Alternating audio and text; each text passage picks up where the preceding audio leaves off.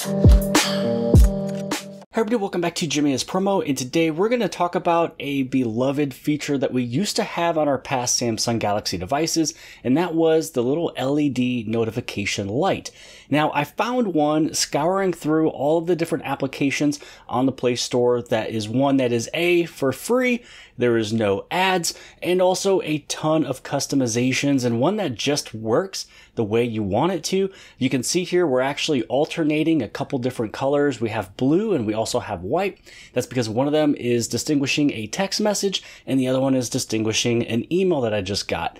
Now, the one that we're talking about today is called AOD notify. So it's basically the, the always on display notification. So it's a way that it is using a little bit of battery to kind of display this little light up there on the very top, which you can basically move anywhere you want to and really any size you want with any color, with any application. The only thing is that it will kind of turn on your always on display, which a lot of people do use anyways. But the nice thing about it is that you can see that it's barely doing any light anywhere, any illumination. And then after two minutes or however long you have it set, it'll actually just disappear. So this one was running for about two minutes and now it's done. And so if you were to just glance at your phone, even with it basically kind of turned off and you see a little blinking light, then you know that you have a notification. Now, what I'm going to show you here is pretty much all of these setups that I have. I'm going to show you what it kind of looks like and how you can customize it. Then what I'm going to do is I'm going to delete it. I'm going to reinstall the app and start from fresh. So this way you can see every single step of the way of how to set this up, just because there are a few permissions that you have to give at the very beginning. So this way it can know if you get a notification or not. So going through this application, it'll probably take you a second to get used to it. Here's the main screen. When you go inside of notifications, this is where you can change things for applications and then also battery, like if you're charging your phone, if you wanted to show you that you're fully charged, uh, then you have all your notification lights. So you change the style, the effects, the dimensions, the location, the position, uh, and then also how long you want it to happen with the with the display time. So going with this very top one up here first, we're going to take a look at notifications. So this is where you first choose your apps. Which applications would you like to get notified with this app right here? So I have the ones on the very top that are, are already turned on. If I was to turn on another one, that one would also move to the very top. So I pretty much turned on the majority of the ones I wanted, but I did forget about Snapchat. So when you want to add in an app, you basically turn it on, you can tap on it, and then you can even do this option right here. Uh, you can turn this on to where if your phone is already unlocked and you're using the phone, you can ignore it. But I like having it still come through because that light is coming up on the very top. So that means that if I'm in a different application, let's say I'm playing a game or maybe I'm watching YouTube or whatever, and I see a little blinking yellow light, then that means that I got something from Snapchat. So it's kind of fun that you can still get it even when the phone is off. Uh, and then you also have this notification preview. So it'll kind of show you a, uh, the app is allowed to show a message preview. Uh, so you can either have that on or off. And basically you just go through and then you select all the applications that you would like for this to work with. Then, if you want to do anything with battery, so if your phone is charging and you plug it in, it's going to be, you know, uh, you know, if you want a little notification light, and yeah, so you can kind of go through those as well too. If the phone is fully charged, and again, these will only show for two minutes. So it's up to you. I selected the top two. And then you can ignore notifications when your phone is unlocked. Now, I like I said from before, this is for basically all of them. Um, but I like having this one toggled off because if I'm in another application, I can still see a blinking light on the very top. Because you might be in YouTube or playing a game and you don't see your notification come through, but you can see the blinking light. You know exactly what it is. And then you can mark the notification as seen when the notification is cleared or if your phone is unlocked or if the screen is on. Now, like I said from before, you could be in another application getting a vibrate, letting you know you got a notification. You don't really know where it came from, but you have the little blinking light. So I just keep this option here. So it'll only keep blinking for not only the display time I set up, but also up until I do this right here. So once I swipe off, then that little light up there, if it's during the time of its blinking period, it will actually go away and turn off. So that was everything with notifications. We've pretty much covered this entire section. It was pretty easy. Now going inside of the notification light. This is where you can change how it looks, where it's at, the size, you know, the style. So this is what it's going to look like if your screen is on and when the screen is off. You could do the LED uh, dot, which again, I'm doing this one for nostalgia reasons. Reminds me of the older phones and it's something that's very small. You can do the screen edges if you like this one better than the stock version on Samsung, but I already have the stock version, so that's the one I'm going with. You can do it around the camera edge if you want it to go around the camera or disable it. So again, I'm going to go with the LED dot. Uh, you can go inside of the uh, effects. So how do you want it to look? You know, so you have this little ro- rotate there. Here's your eclipse. It's going to, you know, do a little eclipse. Do you want it to kind of go on a beat? Do you want it to have a, a center glow? So you can change how you want it. And again, I like blink that is the way that it used to be. Um, but yeah, you have some of the options right here to change the effects. There's like a premium HD one. There's even the, the the Blink Eco if you want it to kind of you know have a little bit of a power saving version with it. You have the speed, so you can make that go quicker or slower just by moving this up and down. I left it at 100% because for me personally, it looks the best. Uh, and then for dimensions, this is where you can change how big you want it. So I'm resizing it. And as you go through it very small, you can see that it is actually getting bigger. If I was to move the slider, you know, it would go much quicker and, and you'd see the size, you know, more greatly, but I'm just going to go with these little uh, arrows. So five is the, the version I like. Here's your offset. So if you wanted to, you know, go up, if you want it to go down, if you want it to go left, or if you want it to go right. Um, you can choose where you want it. I mean, if you want it all the way over there, you can. But again, I like mine closer to the camera just because I know for a fact that it's not going to mess up with the camera. It's not going to go where my time is or where other application is. It's not going to cover up my battery. So I put it right here just because I think that's a good spot for me. So again, you can move it wherever you want with those dimensions. Here's your display time. So how long do you want this light to show? It's basically just the always on display. So when the screen is off, mine is set for two minutes. You can change it. When the screen is on, you can bring it down to, uh, let's see, what, one minute, 15 seconds, 30 seconds. So I just left everything at two minutes. And if I am looking at my phone, I'll just simply swipe it on off. So here is power saving. So stamina mode, special interval mode, 30 seconds on, 30 seconds off. Um, and then it uh, with up to 50% less power consumption. And then you have interval mode. The notification light is shown X times and then paused. This will improve battery life. So if you wanted to show, you know, maybe six times and then pause you know, for what, like five seconds or so. So you can go through, change it however you want. If you'd want to, you know, power save a little bit because it is always on display, but I don't really see it taking too much of the battery.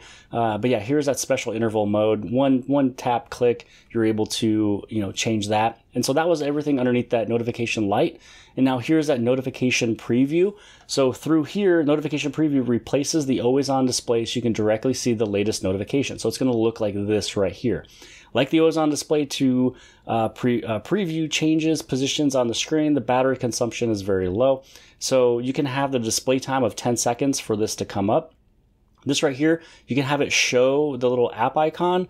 Uh, I don't need that little baby app icon, so I turned it off.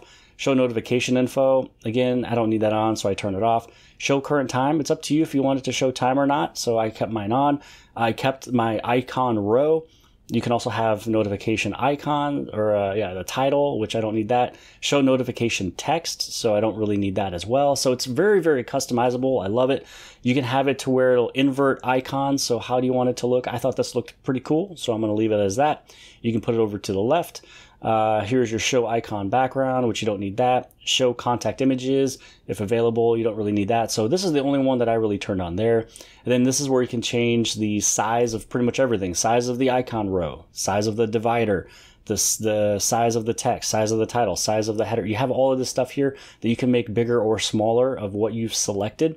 So we've already gone through everything with notifications. We've gone through everything with the notification light, everything with the notification preview, and this is where you can change the colors. So for app colors, this is where you can choose different colors for everything. So for Snapchat, I'm going to go through here and I'm going to select it to be yellow, uh, just because, you know, I believe uh, Snapchat is kind of that color. So we're going to go with yellow.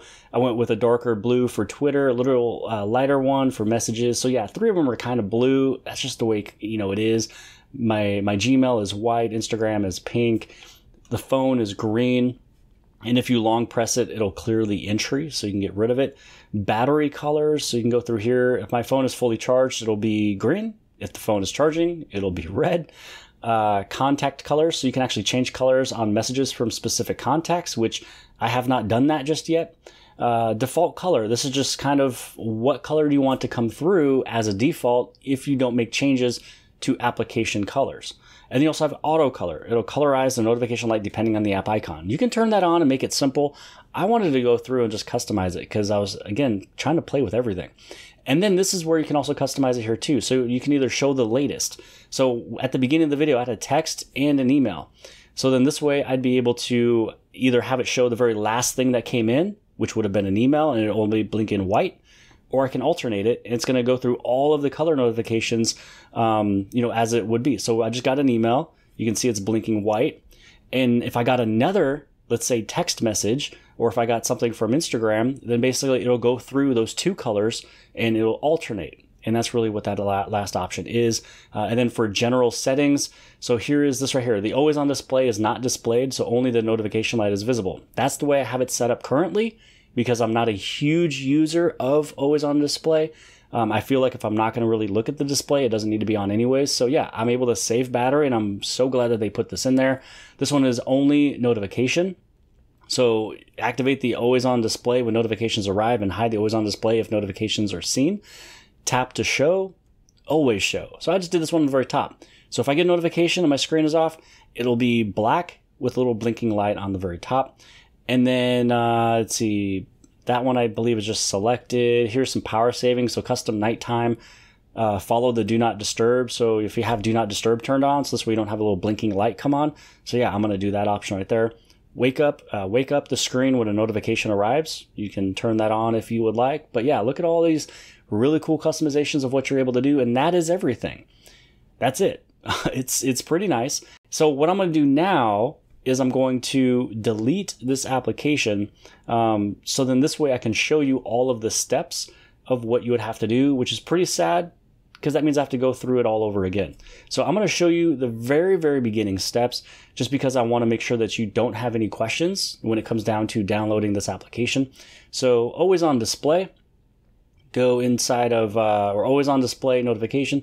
So you just want to install it. Now you're going to open it. And this is why you can see that I wanted to show you uh, from the very beginning because you just have to follow these instructions. So select apps. This is where you'd want to select it from the very get-go. So we're going to go through and I'm just going to choose on something just to get it started. So let's say I just choose on Facebook and that's it. What you're going to notice is that now it's kind of check marked notification access. So now you have to make sure you access, give the access of notifications to come through this application. It's not going to read your notifications. It's just going to, you know, let the application know you got a text message or anything, and it's going to give you the right notification. Always on display. It's going to be right here. I have to install this always on display manager. So you just tap there. So you can see how quick this is, but also some people could get confused. Draw on screen. It's just a way that you can get the notification light popping up. Um, so it's going to be down here in this installed apps. You go to always on display and you just want to turn this one on and you hit on allow. And then that is it. And so this is where you would be able to go through uh, and go through all those settings one more time. So this is where I'd have to go through all my colors and change my default, you know, show, uh, you know, alternate it. So yeah, so now I'm to have to go through and right now it's actually set up to my camera. So now I'd have to go through and change, let's see, notifications, uh, let's go on back here. So I'd be able to go to notification light, the style. I'm to go to the LED dot, LED dot. And again, I just have to go through and finish all the rest of these that I had set up from before. So that was everything that I want to show you in today's video. You can go back to nostalgia. You can go back to putting the LED light up there. Again, I scoured through all of them. I went through some that were paid and I had to get a refund because they weren't that great. A bunch of them, you're not able to customize it like this. A lot of them had ads. So I found the one that was literally the best and I wanted to share with you guys today. Again, that one is going to be the AOD, which is always on display, Notify. It's this free app right here. It's been downloaded over a million times. So yeah, hopefully you guys appreciated this video. If you did, give it a big thumbs up. Don't forget to hit subscribe. Subscribe on the very bottom left-hand side. And if you like this video, then more than likely you'll also like this video. And I'll see you guys later.